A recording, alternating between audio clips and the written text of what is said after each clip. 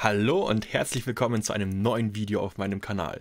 Heute machen wir wieder 30 Fragen innerhalb 45 Minuten. Wir dürfen nicht mehr als 10 Fehlerpunkte haben, also sprich eine Prüfung.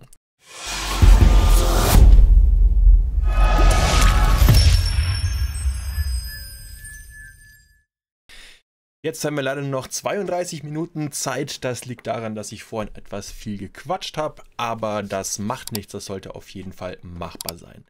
Ich lasse die Fragen und Antworten einfach wieder vorlesen und erkläre euch dann etwas dazu. Äh, ich habe heute die Facecam mal nach rechts oben gesetzt, gerade so, dass man die Fehlerpunkte und die Minuten noch sieht und sowas. Ihr könnt ja mal in die Kommentare schreiben, ob ihr das besser findet oder wie in den anderen Videos davor, dass die Facecam weiter unten war. Ähm, es kann sein, dass jetzt bei manchen Texten ein bisschen was abgeschnitten ist, aber ich lasse sie ja vorlesen, also schreibt mal runter in die Kommentare, was ihr besser findet, oben oder unten. Auf meiner Fahrtroute befindet sich ein Tunnel. Was sollte ich wissen?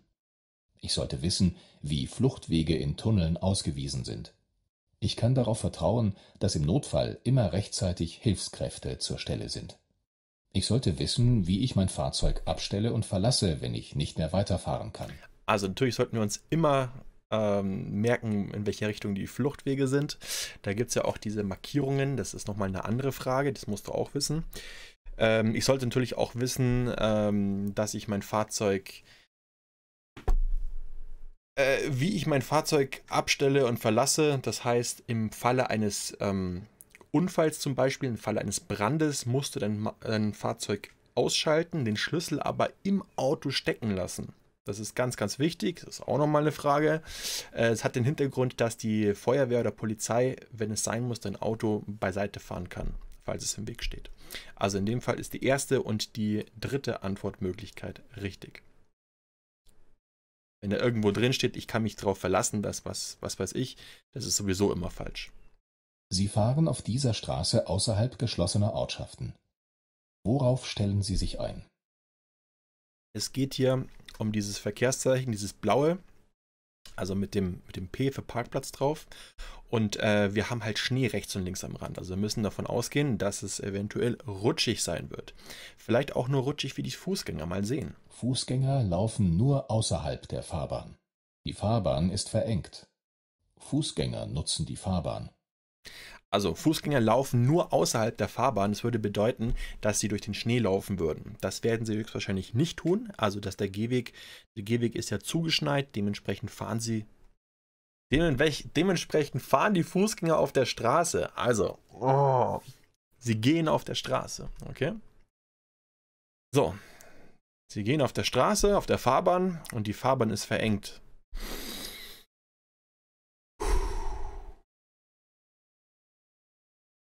Warum kann hier das Rechtsabbiegen gefährlich werden?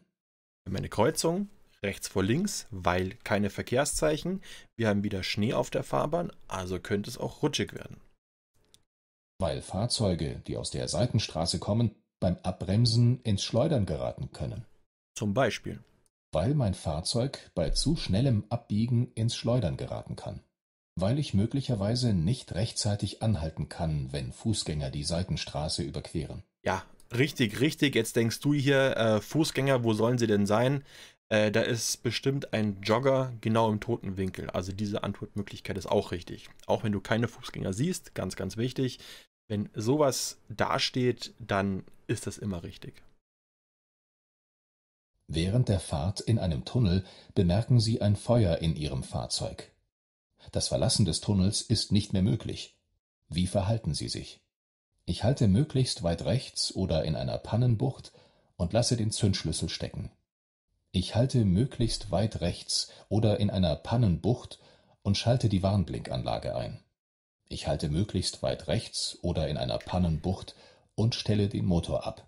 Also ganz wichtig, wir schalten den Motor ab, damit sich nicht einfach noch weitere giftige Gase im Tunnel bündeln. Natürlich schalten wir das Warnblinklicht an, das machen wir immer im Falle eines Unfalls. Und ähm, oder im Falle eines Feuers.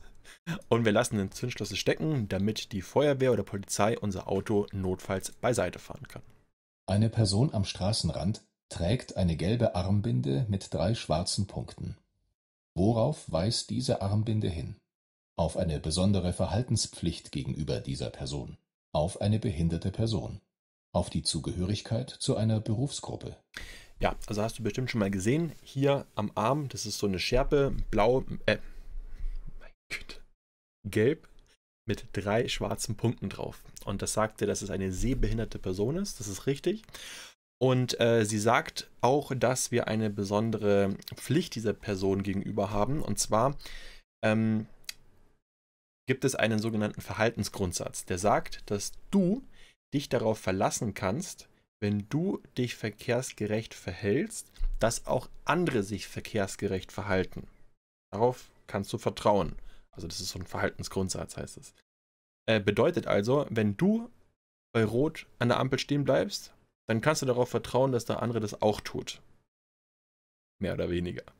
Aber bei solchen Personen, es gibt Ausnahmen, das sind Kinder, das sind ähm, Behinderte und Personen mit einem äh, offensichtlichen Fehlverhalten, also die offensichtlich über diese rote Ampel fahren. Ja, natürlich jetzt sehr, ja, da kann man jetzt rein interpretieren, was man möchte. Auf jeden Fall, ähm, klar, kann es sein, dass diese Person auch bei Rot über die Straße geht. Und deswegen kreuzen wir auch die erste Antwortmöglichkeit an. Nummer drei ist natürlich Quatsch. Welche Fehler machen das Überholen auch auf übersichtlichen und geraden Fahrbahnen gefährlich? Die Entfernung eines entgegenkommenden Fahrzeugs wird zu groß eingeschätzt. Der eigene Überholweg wird zu lang eingeschätzt. Der eigene Überholweg wird zu kurz eingeschätzt. Okay, aufpassen, was hier gemeint ist. Erste Antwortmöglichkeit ist richtig. Die Entfernung des entgegenkommenden Fahrzeugs wird zu groß eingeschätzt, würde bedeuten, du siehst, dass da ein Fahrzeug im Gegenverkehr kommt, aber du denkst, er ist noch sehr, sehr weit weg. Fährst also zum Überholen in den Gegenverkehr und auf einmal ist er jetzt schon viel näher als gedacht. Das heißt, du hast den Überholweg zu groß eingeschätzt, du dachtest, das wird schon noch passen, aber er war dann doch schneller oder näher als gedacht. Damit ist das, äh, das ist bei der ersten Antwortmöglichkeit gemeint. Der eingeholte Überholweg, äh, der eigene Überholweg wird zu lang eingeschätzt, würde bedeuten, ähm, ich denke, ich brauche 500 Meter zum Überholen, dabei brauche ich nur 200 Meter. Das wäre ja eigentlich gut für uns, ja. Wir haben einen kürzeren Überholweg, aber das ist ja, ähm, das, das würde ja der Frage nicht zuträglich sein. Also, der eigene Überholweg wird zu kurz eingeschätzt. Es ist praktisch genau das Gegenteil von der zweiten Frage. Äh, du denkst, ähm, ähm, Du schaffst es in 200 Meter, brauchst aber 500 Meter. Also musst längere Zeit im Gegenverkehr bleiben. Und das könnte natürlich gefährlich werden. Wie schätzen Sie die Situation ein? Das Bild haben wir im letzten Video auch schon gehabt. Es geht um den Rollerfahrer oder Mofa-Fahrer, der sein Bike schiebt und um die Dame, die in diese Richtung schaut. Ja? Und wenn wir jetzt hier weiterfahren, kann es sein, dass die Dame unachtsam zum Beispiel über die Straße rennt, weil was weiß ich irgendwas und der Rollerfahrer auch irgendwas macht. Der Fußgänger mit dem Mofa kann plötzlich die Richtung ändern. Das macht er. Ich kann unvermindert weiterfahren. Die Fußgängerin kann unachtsam die Fahrbahn betreten. Ja, also wenn du das Bild hast, die beiden sind sehr, sehr, sehr gefährlich. Ist es leichtsinnig, noch kurz vor einer Kreuzung einen Lastzug zu überholen? Hm, mal überlegen. Ja, weil der Lastzug die Sicht auf wichtige Verkehrszeichen verdecken kann. Ja, weil der Lastzug die Sicht auf den Querverkehr verdeckt. Nein, weil Lastzüge meist langsam fahren. Ja gut, also bei sowas natürlich immer dementsprechend das ankreuzen. Welches so. Verhalten ist richtig? Das ist interessant. Ähm, es geht um den um äh, Vorrang. Ja? Du biegst ab. Der Radfahrer oder äh, der, der Fußgänger hat keine Vorfahrt. Er hat höchstens Vorrang. Und Vorrang gilt, wenn du abbiegen möchtest und dich mit dem Fußgänger kreuzt. Das passiert in dem Fall. Ja, du biegst ab, du kreuzt dich mit dem Fußgänger, der über die Straße gehen möchte. Dementsprechend musst du dem Fußgänger Vorrang gewähren. Also wir müssen warten, der Fußgänger darf zuerst gehen. Und zwar beide. Vor der entgegenkommenden Person durchfahren, weil diese wartepflichtig ist. Warten, weil beide Personen Vorrang haben. Weiterfahren, weil mich beide Personen vorlassen müssen. Okay, wir haben ein Video, es gibt vier Fehlerpunkte. A, es geht um den Bahnübergang. Das Überholen innerhalb vom Bahnübergang ist verboten. Und zwar ab der ersten dreistreifigen Barke. Ab jetzt ist das Überholen verboten. Okay, du denkst dir du hast ja unendlich viel Platz. Vor der fetten Mofa mit 25, da kannst du locker dran vorbeifahren. Aber es ist nicht erlaubt. Wie verhalten Sie sich hier richtig? Ich darf das Mofa nicht vor dem Bahnübergang überholen. Ich darf das Mofa jetzt mit ausreichendem Seitenabstand überholen. Ich darf das Mofa vor dem Bahnübergang überholen, sobald der Radfahrer weg ist. Ja, also darfst du es nicht überholen, auch wenn du keine durchgezogene Linie hast. Das ist ein Überholverbot im Bereich von diesem Bahnübergang. Wie verhalten Sie sich gegenüber Personen, welche die Straße überqueren, in die Sie einbiegen möchten? Damit ist praktisch genau das hier gemeint, was wir hatten. Also genau dieses Bild beschrieben. Okay? Personen, wir wollen in die Straße einbiegen. Die gehen rüber. Den Personen das Überqueren der Straße ermöglichen. Zügig vor den Personen abbiegen. Nur dann warten, wenn die Personen einen gekennzeichneten Überweg benutzen. Also geschenkte Frage, weil du hast die äh, zwei Fragen davor schon gehabt und richtig beantwortet. Also vier Fehlerpunkte auf jeden Fall geschenkt. Was ist in dieser Situation richtig? Gefahrenzeichen. Warnt dich vor einer Kreuzung. Grundsätzlich von einer Kreuzung. Hier Vorfahrt von rechts, also rechts vor links ganz normal. Nicht zu verwechseln mit der Einzelvorfahrt, welches ja diese Rakete abbildet. Ja? X ist einfach nur Achtung Kreuzung, rechts vor links. An der nächsten Kreuzung gilt die Vorfahrtregel rechts vor links. An der nächsten Kreuzung endet ein verkehrsberuhigter Bereich. An der nächsten Kreuzung habe ich Vorfahrt. Genau, also nur rechts vor links. Okay, da vorne scheint es etwas enger zu werden. Da kommt eine Unterführung. Wir haben einen Radfahrer. Pass auf den Radfahrer auf, der verbirgt sich gerade hinter dem Motorrad. Ja, es wird enger. Da vorne kommt auch der LKW entgegen. Und äh, dementsprechend werden wir uns das Überholen jetzt verkneifen. So, welches Verhalten ist richtig? Beschleunigen, nach links ausscheren, verzögern. Wir verzögern. Verzögern heißt einfach bremsen, langsamer werden.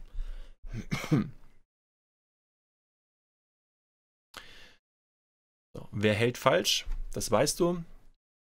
Hoffe ich. Also das Halten nach dem Verkehrs, äh, nach dem Fußgängerüberweg ist erlaubt, so wie der rote steht. Äh, vor dem Fußgängerüberweg musst du mindestens, Güte, 5 Meter, 5 Meter Abstand lassen. Also der gelbe PKW hält falsch. Sie fahren ein Kraftfahrzeug mit manuellem Schaltgetriebe. Wodurch kann beim Fahren eine vermeidbare Lärmbelästigung entstehen? Gut. Ähm, hier Schlagwort manuellem Schaltgetriebe, also so wie du es in der Fahrschule meistens hast. Durch schnelles Fahren in niedrigen Gängen. Durch unnötig starkes Beschleunigen. Durch schadhafte Schalldämpfer. Also manchmal bekomme ich so Fragen, wie lerne ich am besten?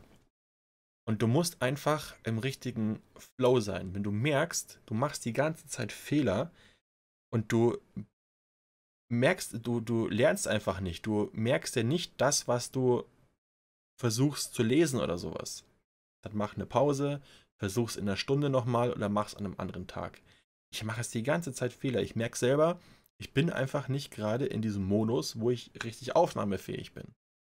Ja, jetzt muss ich erstmal überlegen, fahren schnellen Gang, hohen Gang, niedrigen Gang. Was passiert da? Wann ist der Motor laut?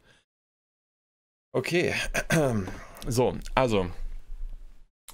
Ähm, es geht um Lärmbelästigung. Wenn ich schnell fahre, in einem niedrigen Gang, das bedeutet so ersten, zweiten, dritten, dann haben wir eine hohe Drehzahl und durch eine hohe Drehzahl ist das Auto natürlich auch sehr laut.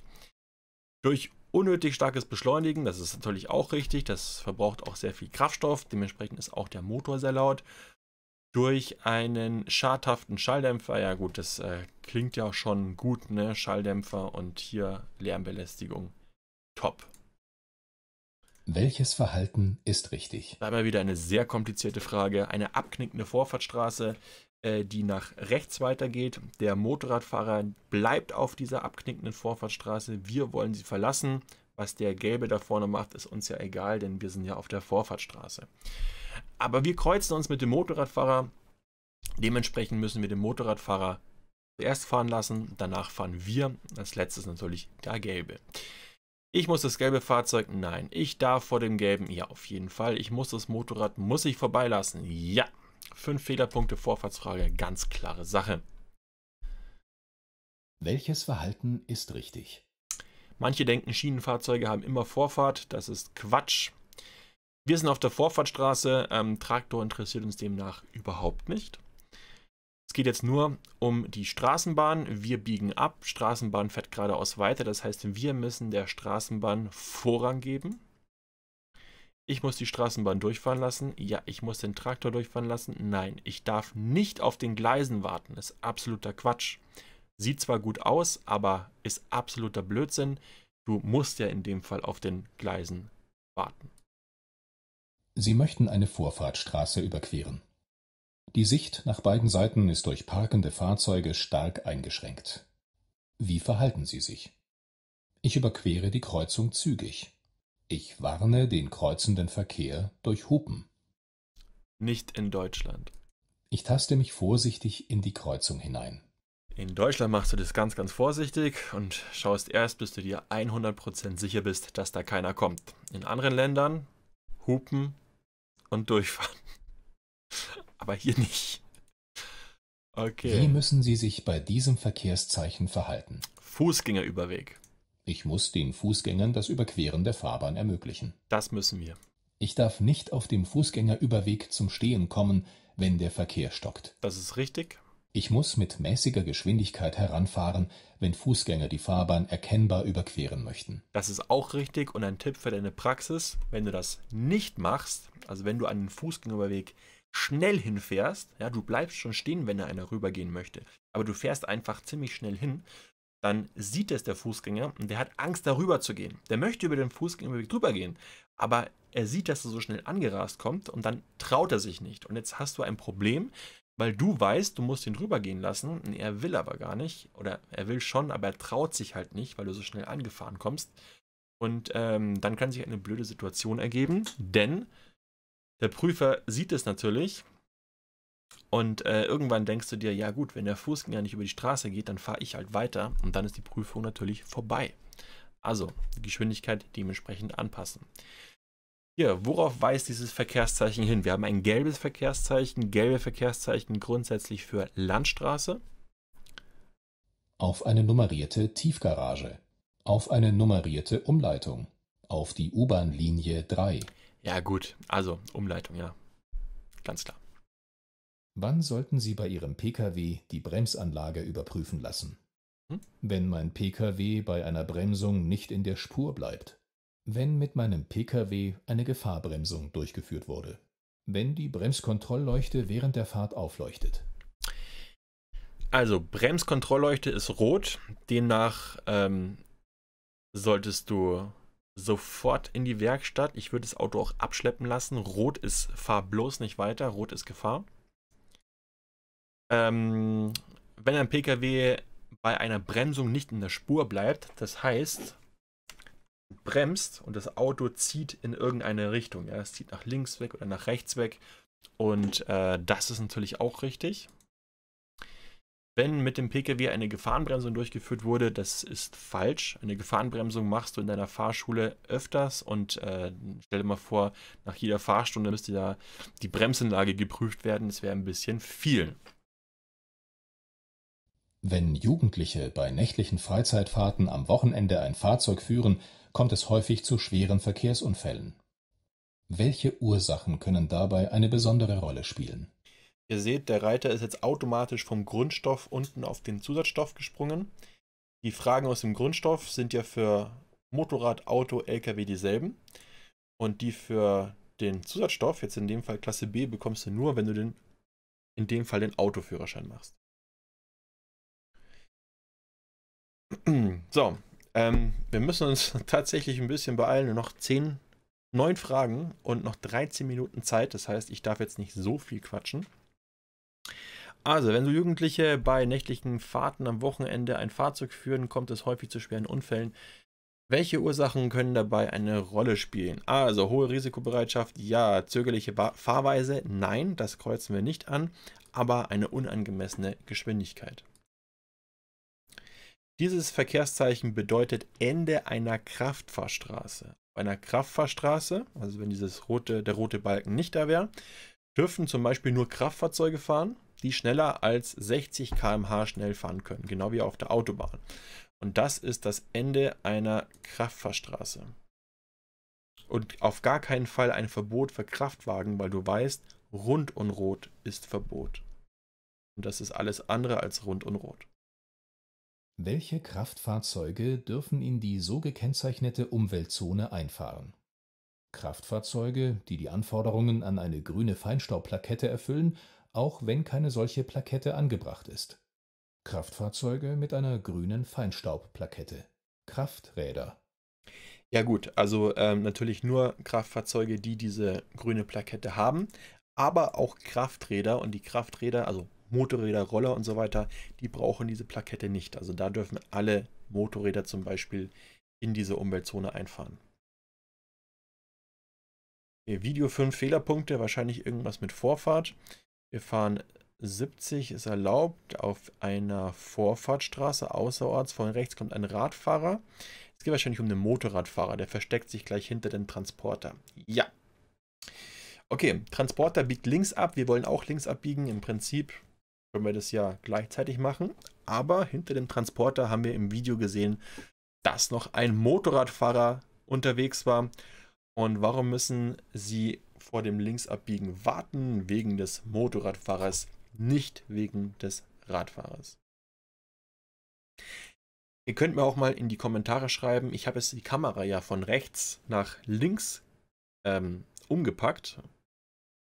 Dann schaue ich nämlich so Richtung Fragen. Ist das vielleicht irgendwie besser? Ich dachte mir, das wäre irgendwie besser, weil als ich die Kamera da hatte, habe ich ja immer praktisch in die andere Richtung geschaut und so ist es vielleicht ein bisschen harmonischer. Äh, ja, schreibt in die Kommentare, ob das jetzt besser ist. Und wie gesagt, oben oder unten. Während Sie in einem Verkehrsstau stehen, sehen Sie im Rückspiegel, wie sich ein Motorradfahrer an der wartenden Fahrzeugschlange vorbeischlängelt. Wie verhalten Sie sich? Ich sorge dafür, dass auch er anhalten muss. Ja, das wäre so ein typisch deutsches Verhalten. Ähm, müsste man eigentlich fast ankreuzen, oder? Für so eine äh, deutsche Führerscheinprüfung. Ich hupe und notiere sein Kennzeichen. Ja, oder sowas. Ich lasse ihn vorbeifahren. Also lässt ihn vorbeifahren, fertig. Worauf weist dieses Verkehrszeichen hin? Ja gut, H, ähm, äh, äh, äh, äh, H ist, ist Wasserstoff, oder? Denke schon, ja, ja. Auf eine Erdgastankstelle. Auf eine Wasserstofftankstelle. Auf eine Autogastankstelle. Nein, also H2 müsste ähm, Wasserstoff sein. H2O, H, ja, Wasser, okay. Aufgrund mehrerer Verstöße innerhalb der Probezeit hat die Behörde die Teilnahme an einem Aufbauseminar angeordnet. Der Fahranfänger kommt dieser Anordnung nicht nach. Womit muss er jetzt rechnen? Also kurz gesagt, in deiner Probezeit machst du Blödsinn, dann wirst du zu einem Aufbauseminar gebeten, du gehst nicht hin, was passiert? Mit dem Entzug der Fahrerlaubnis. Mit zusätzlichen Punkten im Fahreignungsregister. Mit einem Bußgeldbescheid. Boah, das ist eine gute Frage. Ähm, ja, also kommt drauf an, wie viele Punkte du hast, ne? Aber grundsätzlich kann deine Fahrerlaubnis. Äh, ne, warte mal, warte mal, warte mal. Also Bußgeld, zwei Fehlerpunkte, naja, mit zusätzlichen Punkten, zusätzlichen Punkten, wenn du nicht hingehst, ob du zusätzliche Punkte bekommst, ich glaube nicht. Entzug der Fahrerlaubnis. Boah.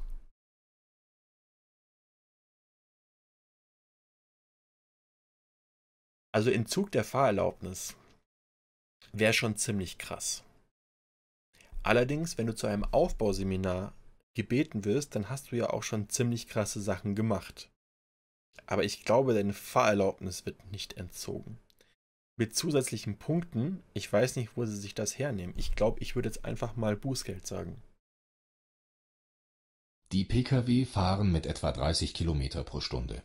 Dürfen sie beide noch vor der Kurve überholen? Nein, weil der helle Pkw zum Überholen ausscheren könnte. Mhm, ja. Nein, weil die unterbrochene Linie nicht überfahren werden darf. Immer die ganze Antwort lesen. Nein, weil ihr Überholweg zu lang würde. Ja, also 1 und 3. Äh, natürlich darfst du die, die, die gestrichelte Linie überfahren, aber das Ganze würde vor der Kurve nicht mehr funktionieren. Wozu führt das Hören von lauter Musik, vor allem mit extremen Bässen im Auto? Blinde erkennen dadurch leichter den Verlauf der Fahrbahn. Die Aufmerksamkeit des Fahrers wird erheblich beeinträchtigt. In der Nähe solcher Fahrzeuge verlieren Blinde die Orientierung. Ja, also die orientieren sich nicht damit so wie Fledermäuse, sondern sie können die Orientierung verlieren. Und ähm, natürlich auch die Aufmerksamkeit des Fahrers könnte damit in äh, Mitleidenschaft gezogen werden. So, wir haben alle Fragen durchgemacht. Wir geben den Bogen mal ab, sechs Minuten noch. Schauen wir mal, ob wir diese zwei Fehlerpunkte kassiert haben und ob wir die Prüfung überhaupt bestanden hätten. Ja, tatsächlich, die zwei Fehlerpunkte haben wir. Boah, jetzt bin ich gespannt. War das überhaupt die Frage? Ja, das war die Frage. Hier Nummer 8. Ähm, dann sag ich. Nee. Fahrerlaubnis entzogen? Punkte? Tatsächlich mit dem Entzug der Fahrerlaubnis, nicht mit Bußgeld, sondern mit dem Entzug der Fahrerlaubnis. Also praktisch ist noch relativ günstig. okay, also der Führerschein wird dir einfach weggenommen. Gut, aber ansonsten, äh, wir haben die Prüfung bestanden. Herzlichen Glückwunsch. Wenn dir das Video gefallen hat, würde ich mich sehr freuen, wenn du das mit einem Daumen nach oben tolerieren würdest. Wenn du noch äh, weitere Hilfe benötigst, unten unter dem Video in der Beschreibung findest du einen Link zu einem Videokurs. Da stehe ich vor einem Whiteboard und erkläre dir fünfeinhalb Stunden die Themen, die in der theoretischen Prüfung drankommen, auf was du achten musst und welche Fragen ein bisschen tricky sind. Und äh, wenn du gut durch Zuhören lernen kannst, dann würde ich noch das Hörbuch empfehlen.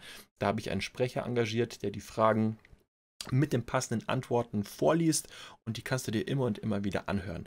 Für Auto und für den Motorradführerschein, also Klasse A und Klasse B, auch unter dem Video in der Beschreibung.